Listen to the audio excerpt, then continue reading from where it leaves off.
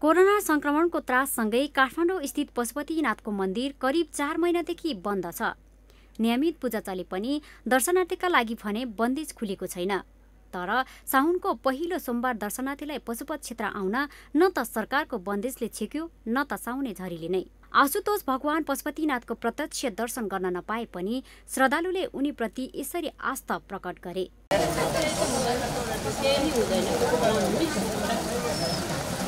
केही वर्ष यता साउने सोमबारको व्रतप्रति सनातन हिन्दू महिलाको आस्था बढीको देख्न सकिन्छ। साउनका सबै सोमबार व्रत बस्ने र शिवालयमा पुगेर पूजाआजा गर्ने परम्परा विकसित भएको छ। त्यसैले निरन्तरता दिँदै यी श्रद्धालु पशुपत क्षेत्र आइपुगेका हुन्। बाहिरबाटै पूजा गर्न पाउँदा पनि उनीहरू खुसी नै देखिन्थे। भित्रै गएर गर्न नपाए पनि खुसी लागेको छ। किन?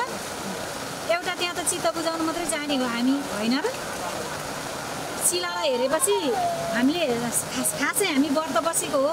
हामी भक्ति गरेको छौँ भनेर बुझ्ने हो। तर उहाँ नै हाम्रो अङ्गमा कटकटबाट हुनुहुन्छ नि। पहिला जस्तो भित्र गएर पूजा गर्न त पाइएन। त्यही पनि अवसर साउनको पहिलो सोमबार। त्यही भएर उहाँदेखि आएर यो पानी पानीमा पनि दर्शन गरेर गरियो रमाइलो लागिरहेको छ। परिस्थिति अनुसारको त राम्रै छ होइन अब त्यो भिडभाडमा अब के गर्नु? अब प्रकृतिको नियमले जे बनाएको छ त्यही अनुसार त हुनै पर्यो त्यही हो। राम्रै छ अब भगवान्को यहीँबाट टाढोबाट पनि दर्शन गर्न पाइएको छ यता पशुपति क्षेत्र विकास कोषले भने कोरोनाको त्रास कायमै रहेका कारण मन्दिर खुला गर्न नसकेको प्रतिक्रिया दिएको छ सामाजिक दूरी कायम गरेर र स्वास्थ्य सचेतना अपनाएर अर्को सातादेखि दर्शनार्थीका लागि खुल्ला गर्न सकिने कोषको भनाइ छ एक मिटर दुरी कायम राखेर टाढा उभिनुपर्ने सेनिटाइज भएर भित्र जानुपर्ने हातबाट पखालेर मात्रै भित्र पुग्नुपर्ने र भित्रको कोर एरिया जुन छ प्राङ्गण एरिया छ त्यहाँ चाहिँ बोल्न नपाउने बोलियो भने श्वास प्रश्वासको प्रवाह हुन्छ।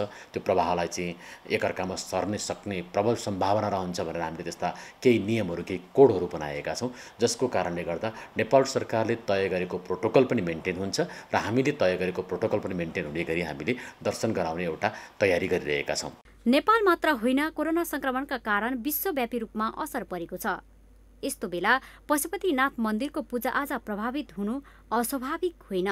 तर अन्य सबै क्षेत्र खुल्ला भइसकेको सन्दर्भमा स्वास्थ्य सुरक्षा अपनाएर मन्दिर खुल्ला गर्नतर्फ सोच्न आवश्यक छ। यो हो टेलिभिजनका लागि क्यामेरामा सञ्जय घिमिरेका साथमा निलामाया ठटाल काठमाडौँ।